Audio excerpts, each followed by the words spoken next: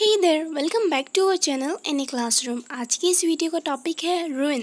Let's use ruin word in a sentence and also know the meaning here the meaning is विनाश नाश टूट फूट so here the first sentence is now you have gone and ruined everything अब तुम चले गए और सब कुछ बर्बाद कर दिया. Next is will the coffee stain ruin the carpet?